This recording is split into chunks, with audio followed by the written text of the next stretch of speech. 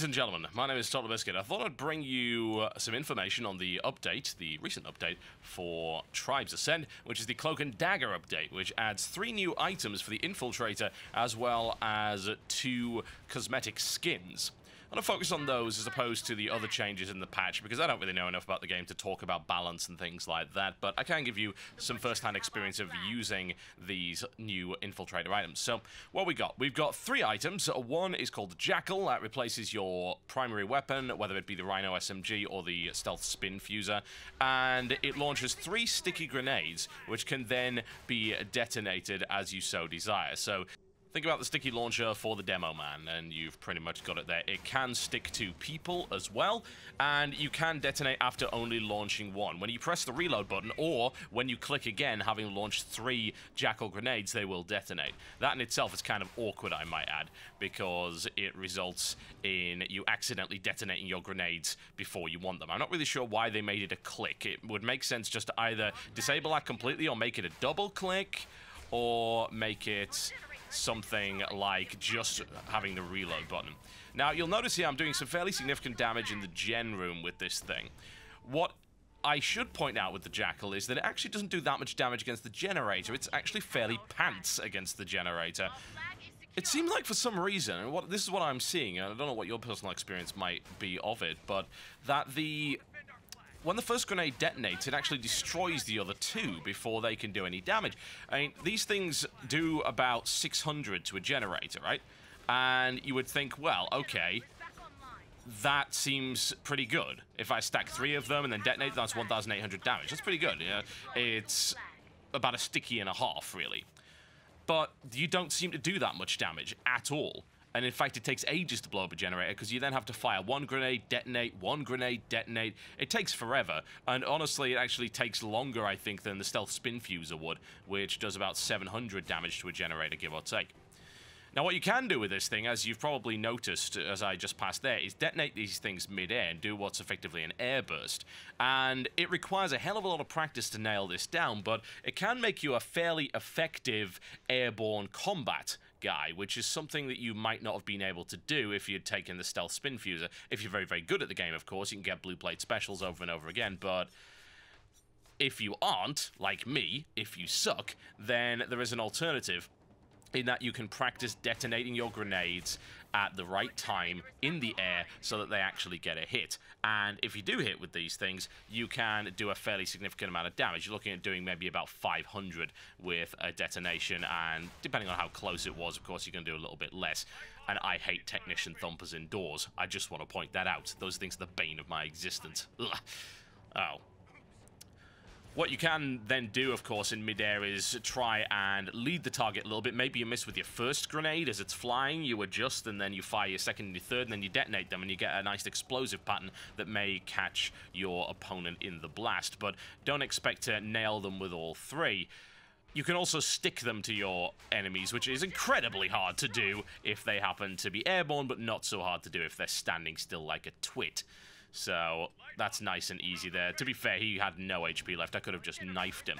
So speaking of knifing, there is a secondary weapon which replaces the silenced pistol, which is the throwing knives. So you get five of these things per clip. Yes, clip. I'm not kidding. With upgrades, you can have up to six, and you've got quite a lot of spare ammo with them. You don't really run out all that quickly.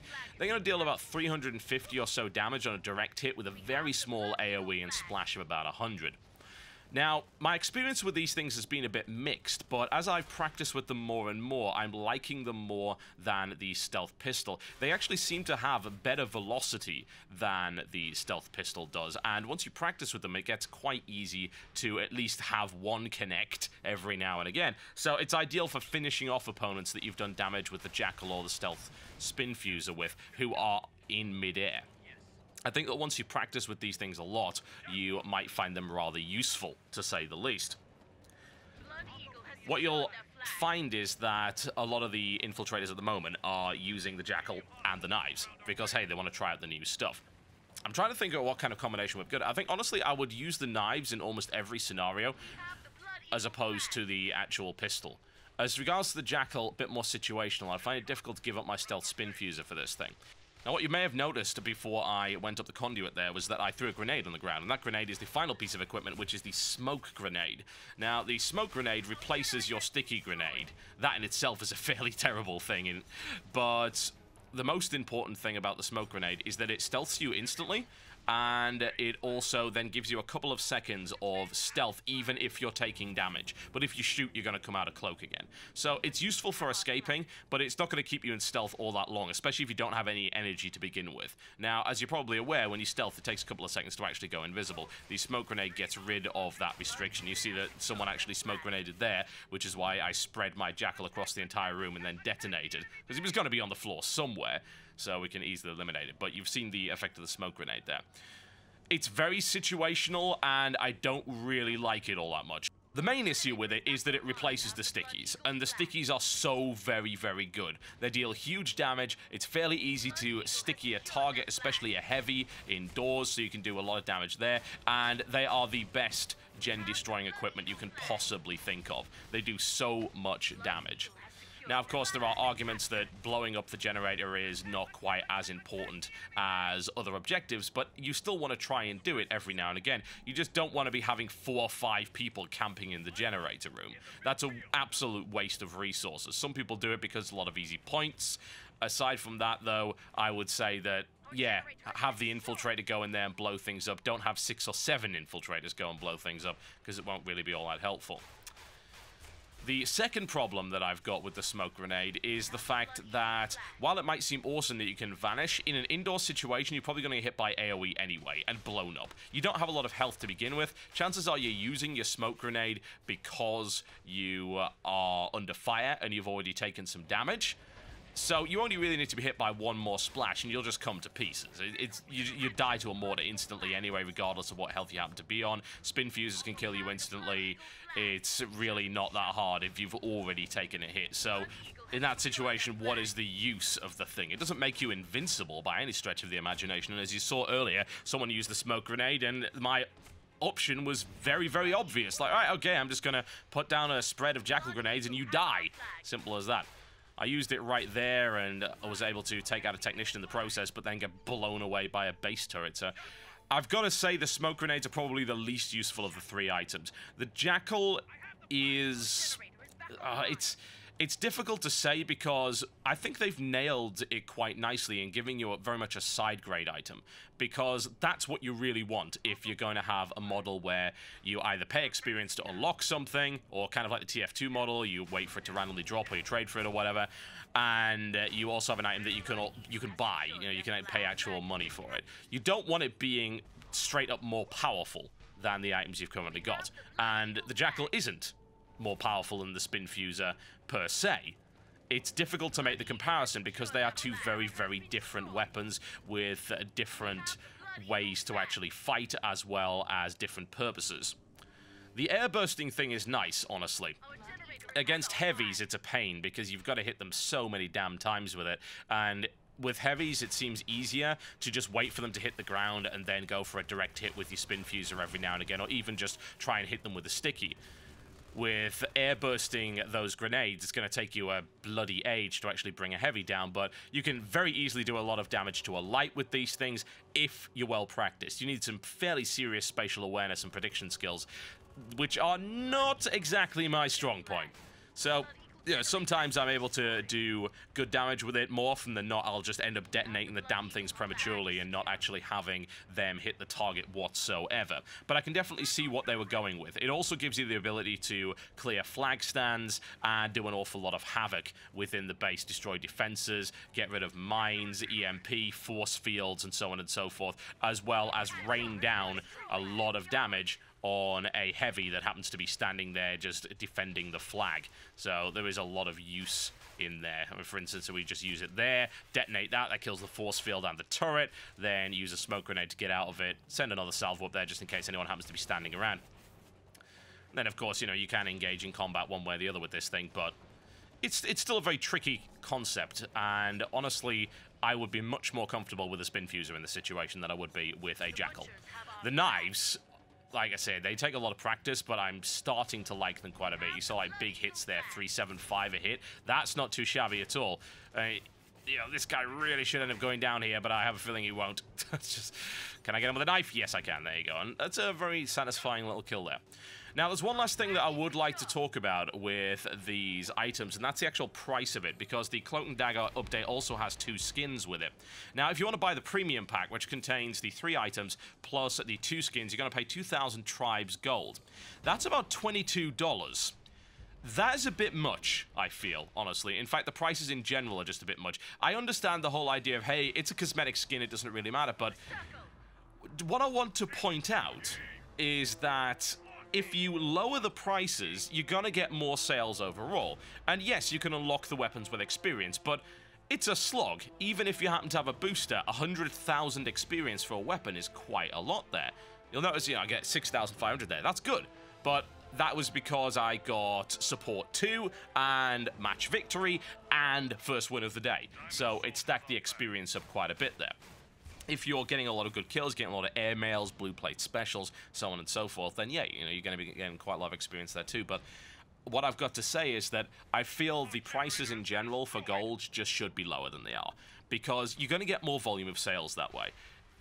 I have a reasonable amount of cash, but I think it's a far superior business strategy to just lower the prices across the board because then people are willing to go there and just purchase something on a whim it's all about impulse buying with microtransactions. You've got this really potent mixture of low prices with convenience. So, say someone's just got off a game of Tribes, like, oh wow, I just got owned by the Jackal, or I just saw one of my guys doing great stuff with that smoke grenade and knife combo, or even I saw one of those guys in one of those great new skins. I want that.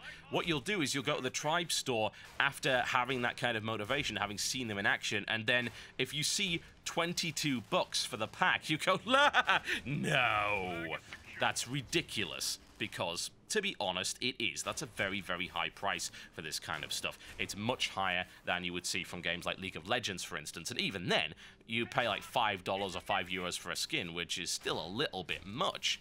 So I would say you lower the price to the point where someone gets out of a game, they go to the store like, oh, a couple of bucks for a weapon? Absolutely. Yeah? Charge $2 for the Jackal, for instance not 780 tribes gold, which is about $9 if you were to buy the smaller pack of gold, which is 1,800 gold for $20, and that actually includes a 400 gold bonus, so it's actually 1,400 gold for $20. Have the smoke grenades be 75 cents. Look at how many people will just pick them up there because, hey, it's convenience. I don't have to spend my XP on that stuff. It also means your game's kind of a bit more balanced because people don't have to spend absurd amounts of experience on that kind of stuff. What they can spend experience on is armor upgrades and the actual weapon upgrades, which will balance the game up just a little bit more, but still have this sense of progression going on. So as far as I'm concerned, they do need to lower the prices on these items. The skins are, I mean, they're good. They did price the Assassin skin higher than the Mercenary skin. I don't really blame them because the Assassin skin is just much better. You basically look like a Sith Lord with the Assassin skin, and the Mercenary skin looks like you've got a fishbowl on your head. So I'm not really so keen on that. But also bear in mind that skins in this game aren't perhaps as potent as they would be in League of Legends because you can't see them. I mean, yes, you can see other people wearing them, but unless you're playing in third-person view, God knows why you'd do that, then you're not going to see your skin. You actually even get a cosmetic thing with the assassin skin, which is pretty cool. This is something you do see, where it replaces your melee animation with basically a Zangief green hand. That's neat. I like that. But still, you're, asking quite a lot of money for these things. And I feel that significantly lowering the prices will actually make you more money in the long run. And you've also got a happier player base. I don't have a problem with them having some really premium stuff, like maybe a weapon skin that is just absolutely out of this world, or perhaps a really cool skin for your character. Fine, make those premium because there are some people that really want that. It also gives great variety in the game as well. It's like, oh, look at that guy. He's got a legendary skin or whatever. League of Legends does that, and it's it's an okay business model. There's nothing really wrong with that. You can create some really nice artificial demand and a prestige factor But with this stuff, especially bearing in mind it's the first set of items that really require you to actually pay real money and that you can't get the skins for experience, then I would say that they started off on the wrong foot by pricing them too highly. That is something that they can adjust, and I would really suggest that they do so.